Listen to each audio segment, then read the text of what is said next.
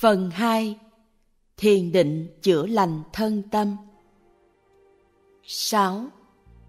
Hướng dẫn thiền tập Giới thiệu Trọng tâm của chương này bao gồm 12 bài tập thiền. Trong số đó, có 3 bài tập bao gồm 3 kiểu tập tùy chọn, có thể giúp bạn xử lý với những nhu cầu hoặc hoàn cảnh đặc biệt. 1.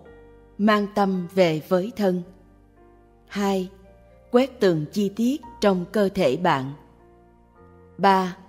Thấy cơ thể được làm từ vô lượng các tế bào riêng lẻ. 4. Thấy mỗi tế bào là một tế bào ánh sáng. 5. Thấy mỗi tế bào rộng lớn như vũ trụ. 6. Cảm thấy mỗi tế bào tràn ngập năng lượng chữa lành. 7. Chữa lành cơ thể bằng sóng năng lượng và ánh sáng. Tùy chọn thực hiện một bài thiền đặc biệt để chữa lành các tế bào bệnh tăng sinh. 8. Lắng nghe âm thanh A chữa lành. 9. Mở rộng sự chữa lành bằng động tác hoa sen nở. Tùy chọn, mở rộng sự chữa lành với những động tác khác để chữa bệnh thể chất và nâng cao sức khỏe. 10. Chia sẻ sống chữa lành với mọi người. 11. Chia sẻ sống chữa lành với toàn vũ trụ. Tùy chọn bảo vệ mình với vùng hào quang chữa lành. 12. An trú trong sự hợp nhất với chữa lành. Tuy nhiên, trước khi bắt đầu các bài tập, bạn có thể muốn nghĩ đến việc làm thế nào để thực hiện các bước thiện khác nhau và thực hiện những pháp quán tưởng có liên quan. Hai phần tiếp theo sẽ cung cấp một số gợi ý ngắn gọn để tìm ra phương pháp tốt nhất cho bạn. Hiểu rõ bản thân, biết mình cần gì. Thiền là một phương pháp luyện cho bản thân phát triển một tâm thức an bình hơn. Mọi người đều có những khả năng và nhu cầu khác nhau khi bước vào việc tập luyện này. Bạn không muốn thúc đẩy bản thân quá mạnh, nhưng cũng muốn tránh sự chểnh mãn hay lười biếng. Vì vậy, bạn cần phát triển một ý thức về việc điều gì là tốt nhất cho mình. Khi mới luyện tập, bạn sẽ mất công sức để thực hiện quán tưởng. Điều này tương tự như lần đầu bạn thực hiện bất kỳ sự luyện tập thể chất nào. Có thể ban đầu sẽ khó khăn, nhưng thường nó sẽ trở nên dễ hơn khi bạn tiếp tục vì cơ thể bạn giờ đã mạnh hơn. Cũng giống như tâm bạn được rèn luyện sau vài buổi thiền. Bạn có thể tập trung tốt hơn và gọi ra những cảm xúc an bình và năng lượng chữa lành một cách dễ dàng hơn. Tốt nhất là làm quen với tất cả các bước. Việc này sẽ tăng thêm khả năng chữa lành của bạn đối với tâm và thân. Sau đó, bạn có thể tập trung vào các bước thích hợp nhất với bạn. Đối với nhiều người, sự tập trung sẽ nằm ở việc tạo ra các làn sóng chữa lành. Nhưng nó phụ thuộc vào bạn và cái bạn cần ở một thời điểm cụ thể. Thí dụ, nếu bạn đang cảm thấy cảm xúc bị dập tắt hoặc cứng nhắc, thì thiền định trên cơ thể vô biên của bạn có thể giúp ích. Có lẽ trong một hoàn cảnh cụ thể, bạn sẽ chỉ thực hiện cách thiền đó. Bạn đang chịu trách nhiệm về sức khỏe và hạnh phúc của riêng mình. Vì thế, bạn có thể thiết kế sao cho phương pháp thiền của mình phù hợp với những gì bạn cần khi chúng phát sinh. Tương tự như vậy, nếu chỉ làm những gì mình muốn hay những gì đơn giản nhất trong cuộc sống, thì bạn có khả năng bỏ lỡ một cơ hội lớn để giúp bản thân đây là lý do tại sao đạt được sự cân bằng là tốt. Hãy làm điều bạn có thể, thoải mái làm, nhưng hãy mở rộng khả năng của mình. Nếu bạn còn bỡ ngỡ với các phương pháp thiền trên cơ thể, hãy tập trung vào bước đầu tiên, trong đó bạn đưa tâm quay trở về thân. Khi bạn cảm thấy mình đã đạt được một số kinh nghiệm vững chắc với những đặc tính độc đáo của bước này, bạn đã sẵn sàng thêm vào bài tập tiếp theo. Từng bước một, bạn nên thêm vào các bước khác, tùy thuộc vào sự tiến triển của bạn. Nếu cảm thấy căng thẳng trong khi thực hành, bạn cần chờ đợi trước khi thêm các bài tập tiếp theo. Một khi bạn quen với tất cả các bài tập, thưởng thức chúng rồi thì nên thực hành chúng trong mỗi buổi thiền. Bạn có thể chỉnh các bài tập sao cho phù hợp với nhu cầu của mình. Đơn giản hóa, ngắn gọn hoặc lược bỏ một số bài trong một buổi thiền đặc biệt và tập trung vào những bài tập khác. Đối với những thiền sinh chưa có kinh nghiệm, bước đầu tiên đặc biệt rất quan trọng. Đối với những thiền giả giàu kinh nghiệm, đôi khi chỉ cần hít thở vài hơi là đủ để thư giãn và có được sự tĩnh lặng. Tâm thức khi đã quen với việc làm cơ thể tĩnh lặng sẽ biết cách kết nối với cảm giác đó. Hai trong số các bước thiền đặc biệt đáng quan tâm là Bài tập 6, trong đó bạn gọi ra năng lượng chữa lành và bài tập 7, trong đó bạn tạo ra sóng chữa lành. Bạn sẽ làm tốt để tạo dựng sự thực hành chủ yếu xung quanh những bài tập này. Bài tập về sóng năng lượng đặc biệt có tác động rất mạnh. Nhiều người thấy sự chữa lành với động tác hay cử chỉ của bài tập chính cũng rất mạnh. Những bước cuối cùng, 10 đến 12 là đỉnh cao tự nhiên của toàn bộ chuỗi bài tập và nên được coi là bước thiết yếu. Đây là những bước mà bạn chia sẻ sự chữa lành với người khác và với vũ trụ trước khi an trú trong sự hợp nhất với thiền định. Thấy các chi tiết các bài tập thiền trong chương này khá chi tiết. Hãy nhớ rằng mức độ chi tiết mà bạn thấy phụ thuộc vào kinh nghiệm và nhu cầu của bạn vào lúc đó. Mặc dù nhiều chi tiết thì tốt hơn, nhưng nguyên tắc là luôn làm điều mà bạn có thể làm một cách thoải mái mà không cần quá mạnh. Quan trọng là không cố gắng quá đến nỗi tâm bạn tham luyến hình ảnh và cảm xúc. Hãy thiền định theo một cách thoải mái và cởi mở. Trong các giai đoạn khác nhau của thiền định sẽ rất hữu ích khi chúng ta lần lượt tiến hành qua từng phần trên cơ thể. Điều này sẽ giúp thiền định của bạn phong phú và sâu hơn. Nhưng nếu bạn có nền tảng kinh nghiệm chắc chắn, hoặc nếu thời gian có giới hạn, thì bạn không nhất thiết phải làm như vậy. Thí dụ như quán tưởng toàn bộ cơ thể bạn chiếu sáng mà không cần xem từng phần trên cơ thể cũng là đủ rồi. Mặt khác, bạn có thể thậm chí còn thích đi vào chi tiết hơn xem đó như một cách để thiền định sâu hơn ở bước 2, bạn sẽ học cách xem tỉ mỉ các bộ phận trên cơ thể. Từ bước 3 đến bước 9, bạn có thể đưa giải phẫu vào trong mỗi bài tập. Thí dụ như khi thiền về năng lượng chữa lành của nhiệt và niềm hỷ lạc, bạn có thể mang những năng lượng này vào trong mỗi bộ phận chi tiết trên cơ thể và các cơ quan của nó thay vì chỉ xem một số bộ phận phổ biến trên cơ thể. Tuy nhiên, đôi khi bạn có thể cần đến một pháp thiền đơn giản. Thiền định trên toàn bộ cơ thể, thấy nó rực rỡ ánh sáng chữa lành cũng đơn giản và giúp chữa lành rất nhiều. Ngay cả trong một ngày bận rộn, bạn có thể dừng lại và nhìn cơ thể theo cách này hoặc chạm vào những cảm giác rộng mở khác do thiền chữa lành tạo ra. 12 bước hành thiền. Mỗi bài tập sau đây sẽ mang đến cho bạn những kiến thức cơ bản về mỗi giai đoạn hành thiền, cùng với các hướng dẫn chi tiết về cách thực hiện các bài tập để bạn có thể đi sâu vào thiền định. Trong việc thực hành, cuối cùng bạn sẽ kết hợp tất cả các bài tập trong một bài thiền hoặc ở mức bạn có thể thấy thoải mái. Một đưa tâm quay trở về thân. Có thể bạn cảm thấy rằng, về cơ bản, tâm và thân bạn đang hoạt động một cách hài hòa. Xét cho cùng, tâm là một phần của thân. Chúng có mối liên hệ với nhau. Nhưng thường thì tâm và thân không thực sự thông nhau đâu.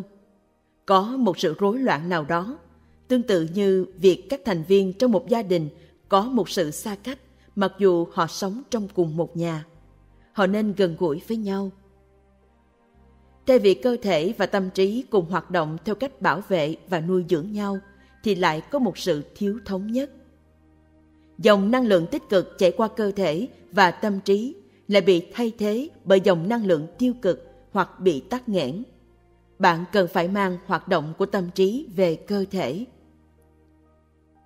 Thiền là phương pháp tuyệt vời để giúp bạn thực hiện điều đó. Trong bước đầu hướng dẫn hành thiền này, bạn sẽ học cách làm cho cơ thể tĩnh lặng, làm lắng dịu những cảm xúc hoặc những dòng năng lượng tiêu cực, buộc cái tâm đang trôi nổi và cuối cùng cảm nhận sự bình yên của thân và tâm. Khi tâm và thân đã thống nhất, bạn sẽ gieo trồng hạt giống để chuẩn bị cho bạn đi vào tầng thiền sâu hơn. Nếu bạn đang buồn bã và bất an, có thể bạn cần xua tan những cảm xúc tiêu cực trước khi có thể trở nên tĩnh lặng.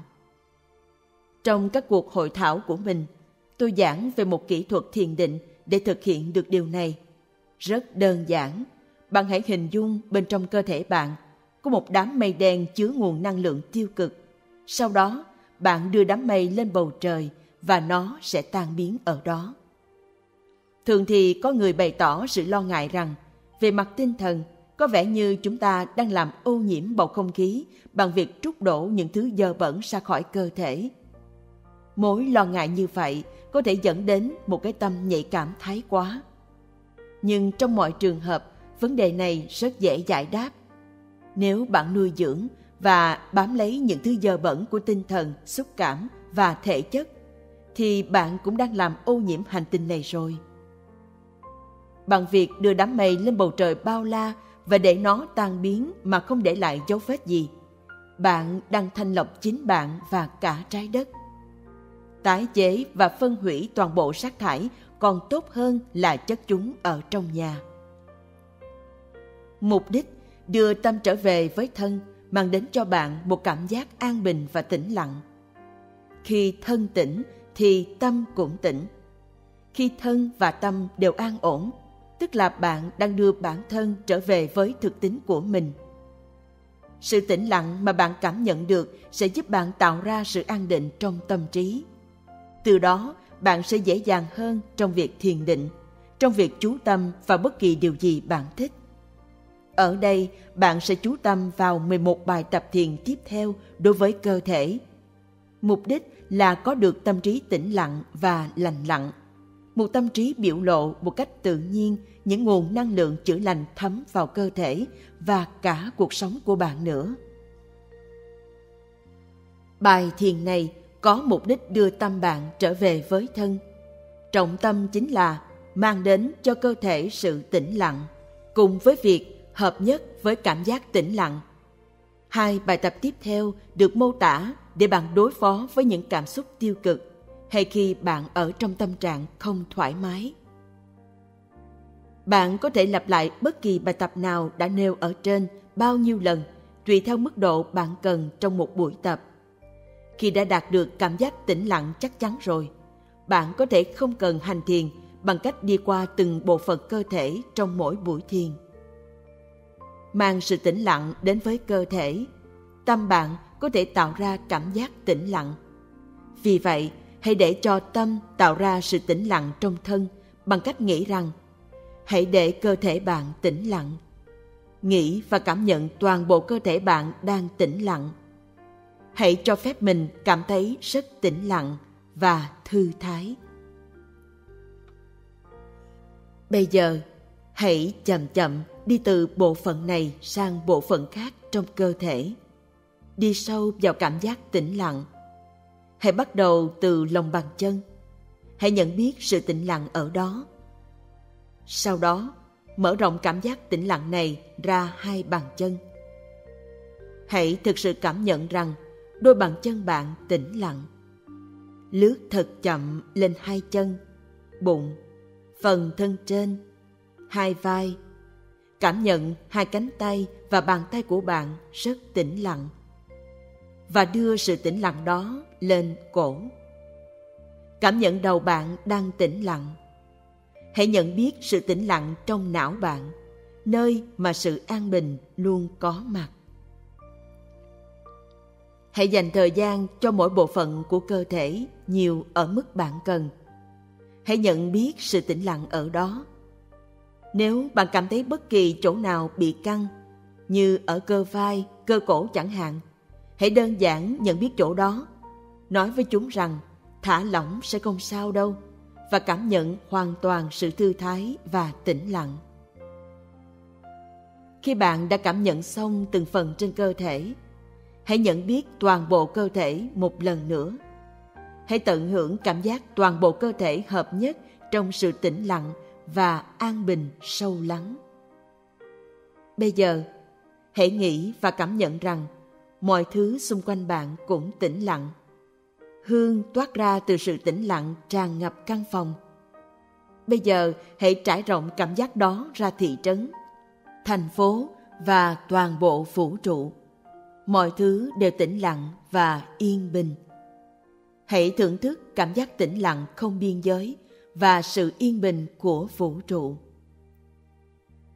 Xóa tan cảm thọ khó chịu nếu bạn đang trải qua các cảm thọ khó chịu, chẳng hạn như buồn bã, nghẹt thở, lo lắng, vui sướng hay đau đớn, hãy sử dụng pháp thiền dưới đây.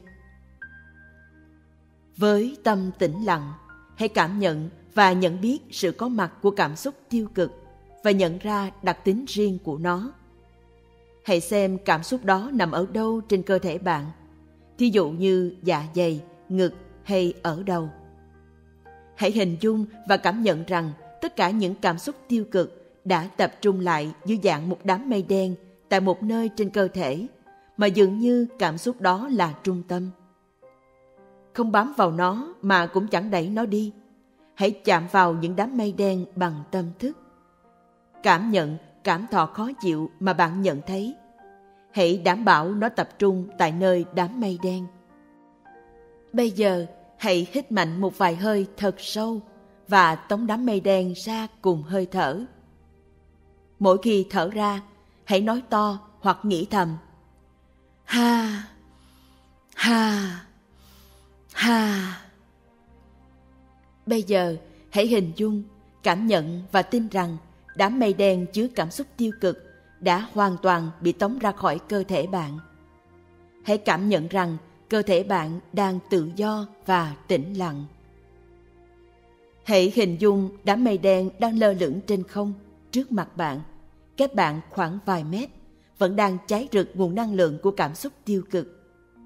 Bây giờ, hãy nhìn đám mây chậm chậm trôi xa, giống như một quả bóng đang trôi đi.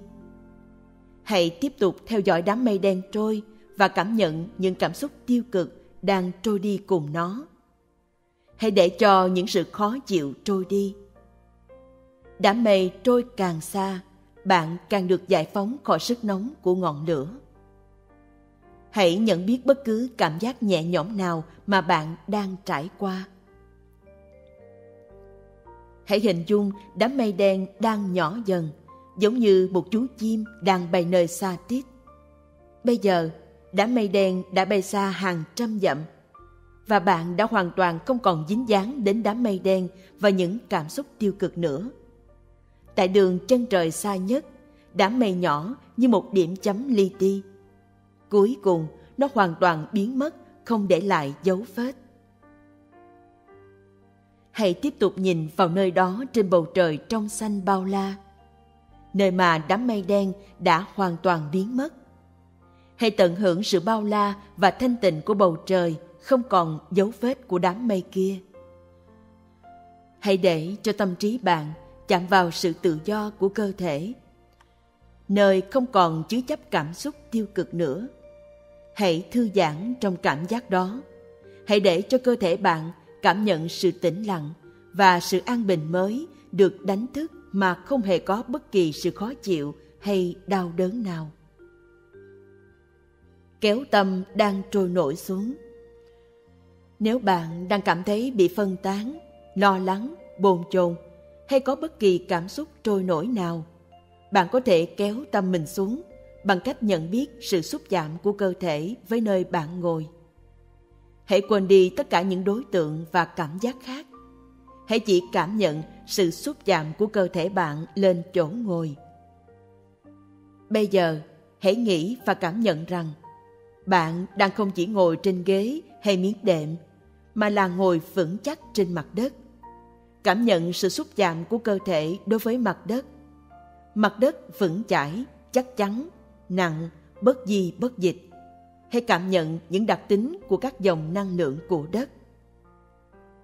Không chỉ cảm nhận bạn đang chạm vào năng lượng trái đất, mà toàn thân bạn đang tràn ngập năng lượng ấy. Toàn bộ cơ thể bạn có cảm giác vững chắc, nặng, mạnh mẽ và bất di, bất dịch.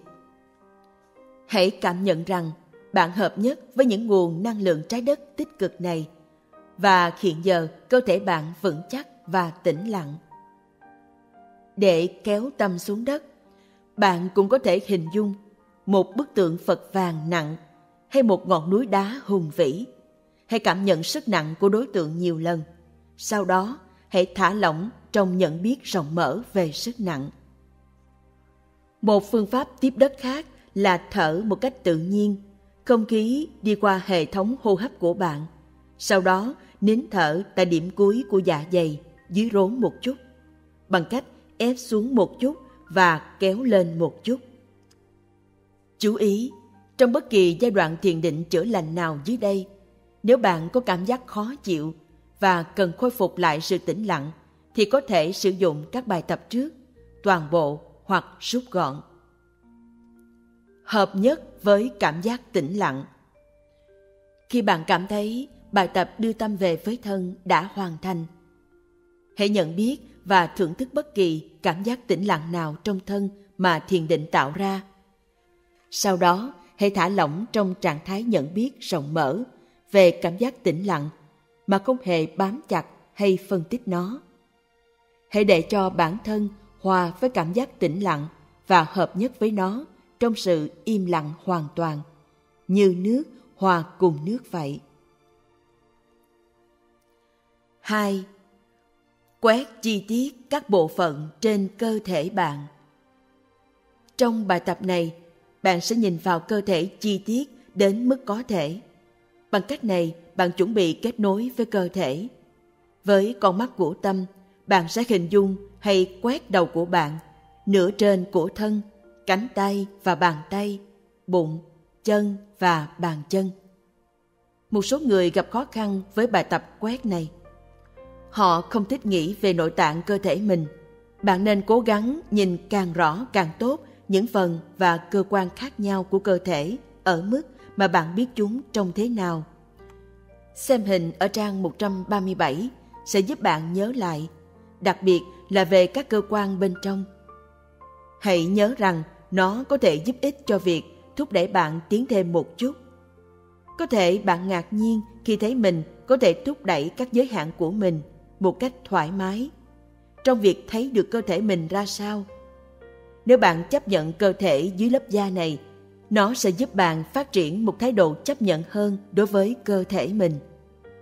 Thái độ đó sẽ đi suốt phần còn lại của cuộc đời bạn, khiến bạn hạnh phúc hơn và chấp nhận bản thân mình. Nhưng hãy đẩy nhẹ thôi, đừng mạnh, đừng gắng sức. Hãy luôn làm những gì bạn thấy thoải mái trong bài thiền này, bạn không cố gắng đánh giá hay thấy cơ thể mình xấu xí hoặc đẹp đẽ, mà là thấy nó như nó vốn có. Trong thiền định, bạn có thể nhìn các chi tiết trong cơ thể mình khá rõ, hoặc cũng có thể chỉ thấy một hình ảnh mờ mờ chung chung. Hoặc bạn có thể chỉ thấy rõ một số phần và hình dung sai cấu trúc của các bộ phận. Có một hình ảnh rõ ràng về cơ thể sẽ giúp việc chữa lành có hiệu quả hơn. Nhưng mặt quan trọng nhất của việc quét cơ thể không nhất thiết là thấy rõ tất cả các chi tiết của cơ thể, mà là làm cho tâm thấm nhuần cảm giác liên hệ chặt chẽ với các chi tiết và đặc điểm của cơ thể. Nếu bạn gặp khó khăn trong việc thấy hình ảnh của cơ thể hay bất kỳ bộ phận nào, hãy nghĩ về hình dáng của những bộ phận đó và kết nối với chúng chỉ bằng cách nghĩ và cảm nhận rằng bạn thấy chúng như chúng vốn là vậy. Sau đó, vào cuối buổi tập quét, hãy tạo ra cảm giác Vâng, tôi đã thấy hoặc tôi đang thấy chi tiết toàn bộ cơ thể như nó vốn vậy. Ngay cả khi bạn chỉ thấy được một phần, Chẳng hạn, nếu bạn đang xem một trận bóng đá ở sân vận động, dù có thể bạn chỉ thấy rõ vài người hay thấy khuôn mặt của quần áo của vài người, thì bạn cũng có thể nghĩ, cảm nhận và tin rằng bạn đã nhìn thấy hàng nghìn người một cách sống động. Nếu bạn đang cố tìm một người bạn tốt, có thể bạn không biết gì về người đó cả, nhưng có thể nghĩ và cảm nhận rằng tôi đang hoàn toàn thấy biết người đó. Vì vậy, khi bạn kết thúc bài tập quét toàn bộ cơ thể mình, việc tạo ra cảm nhận vâng, tôi đã thấy tất cả rất quan trọng. Và kể cả vào lúc sớm hơn, cũng tốt khi nói với bản thân và cảm thấy vâng, tôi đã thấy nó. Sự thừa nhận này là một phương pháp rất hay trong việc khẳng định và làm cho quá trình thêm sâu. Từ giai đoạn này trở đi, hãy nắm bắt mọi cơ hội thực hành các năng lực chữa lành theo cách này.